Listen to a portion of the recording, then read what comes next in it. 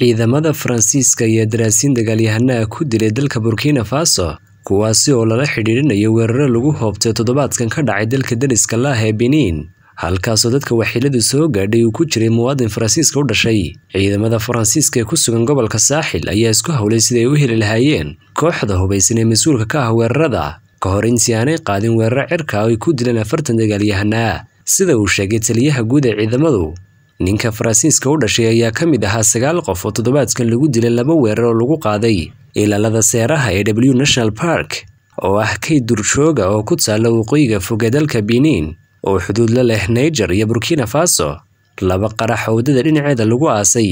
ayaa waxaa ku dhintay shan ka mid a ilaalada beerta hal sarkaal oo ka tirsan beerta hal askari oo kale iyo tababaro faransiis ah sida laga soo xigtay dowladda benin laba maalmood kadib sarkaal kale oo ka tirsan waaxda beerta ayaa lagu dilay qarax. Faransiiska ayaa khamiistii sheegay inay fureen baadhitaan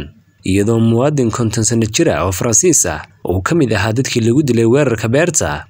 benin waxay muddo dheer ka mid ahay dalalka ugu xasiloon galbeedka afrika halkaas oo dagaalyahanada alqaacida iyo isis ay weerar ka geystaan dalalka dhaca saaxil. Cumar saadiq telefishinka c b a